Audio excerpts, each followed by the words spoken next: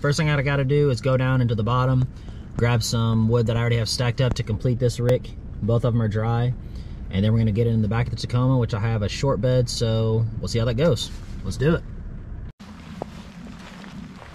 Here's some of the wood I'm gonna be loading up. No bark on this stuff. Good hearts that have been drying out for a few months that I'm gonna put with all the super season stuff. Should load up nice.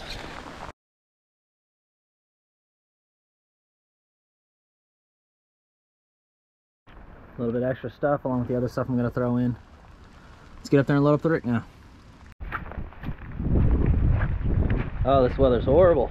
All right, let's see where we're at on this pile here.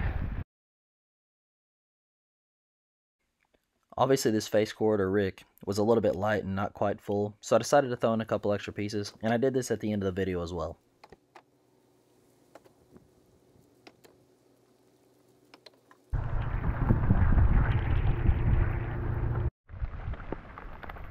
Alright, I threw a couple more pieces on just to show, like, I don't know, just kind of square it up. Just for any naysayers that say this might not be a whole rick or a face cord. Because I still got a little bit extra in there, so that'll totally square it up. Alright, let's get to loading and stacking.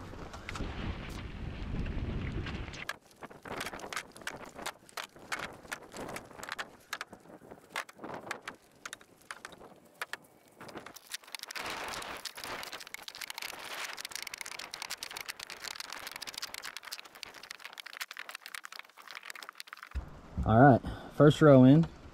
It's honestly fitting a little bit better than I thought. I'm just gonna have to put in something right here. I'll probably grab a piece of foam or a blanket or something to throw in so I don't bust my back glass out on my daily. So much more we got.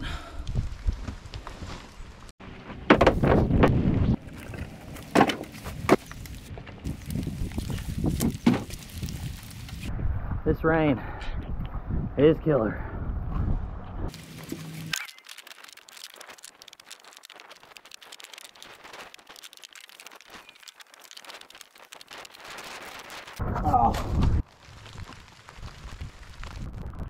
If this was an old farm truck Tacoma, uh, I would definitely be throwing all these pieces in the back, but since I'm getting closer to the end of the rick, and the bed's getting fuller, I didn't want to risk a piece bouncing out and busting out my black glass or busting a tail light.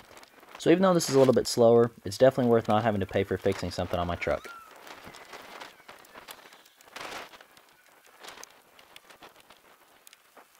Here's how we're looking.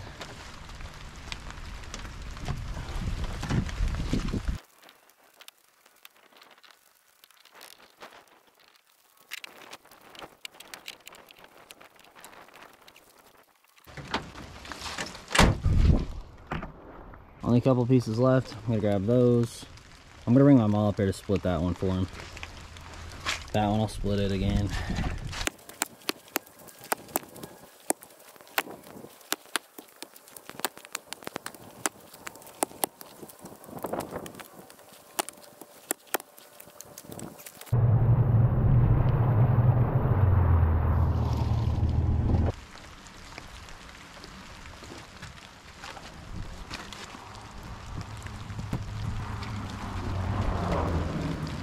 Load it up.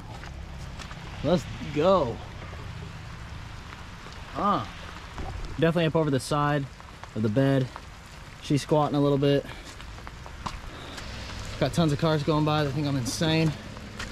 All right, I'm gonna throw a strap, I think, across here so nothing goes into my window. And if I can, I honestly don't know if I can, I don't know. I'll probably just throw one strap on it up here so it doesn't hit my window and that'll be good.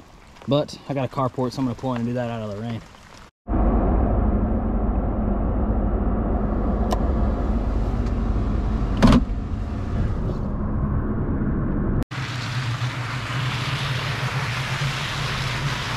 All right, we got to load it up.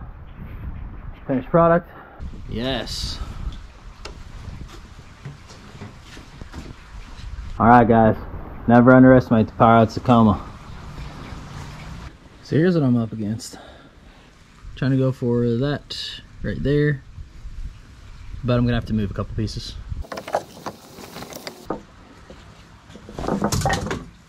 And just like that, I'm gonna call that good. Got some good tension on it. So, stick around tomorrow for the delivery after work.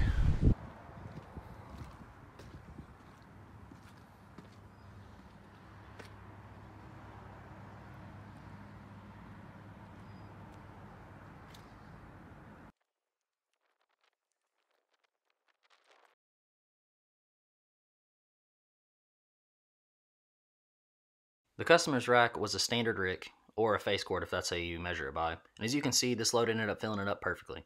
So it's definitely not the best option to haul wood in a short bed Tacoma, but if it's all you got, you can stack a rick of wood in there all day long. If you guys enjoyed the video, give it a like, and of course subscribe to the channel. And as always, have a good one!